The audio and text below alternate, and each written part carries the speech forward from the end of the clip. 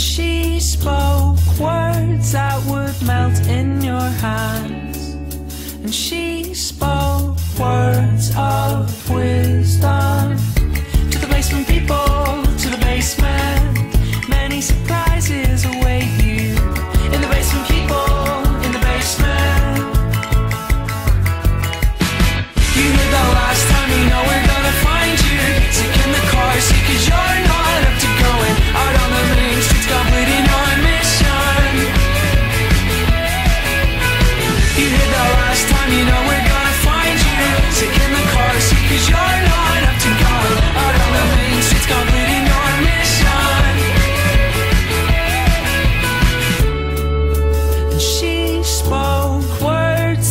Would melt in your hand